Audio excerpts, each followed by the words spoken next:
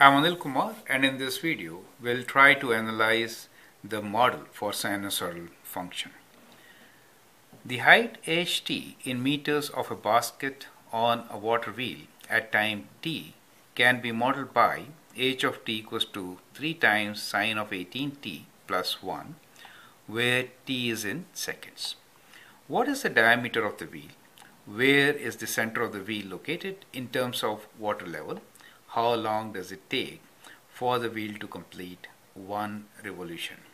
Now, uh, in this particular example, we will take different scenarios. What we are given is a sinusoidal function, which represents height of a basket on a water wheel, right? So let us say that uh, we have water wheel, which is kind of this is water level, and the wheel is going like uh, kind of in a circular motion, kind of, kind of like this, right?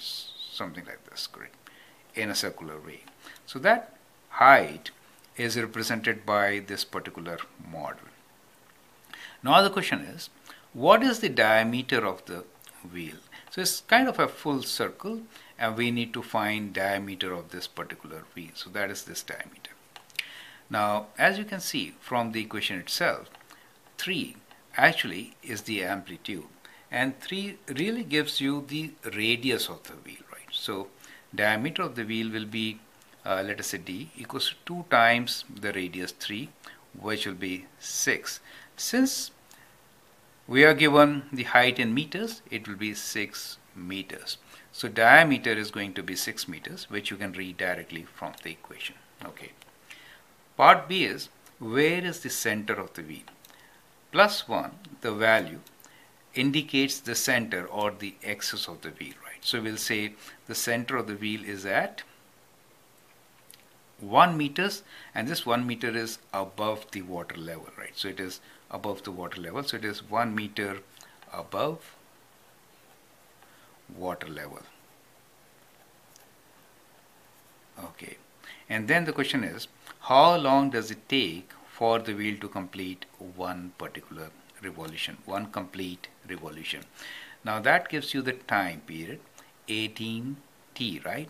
So one complete revolution t can be calculated by dividing 360 degrees, all this is in degrees, by 18, right? So if you divide 360 by 18, you will know when is one cycle, how much time one cycle is taking.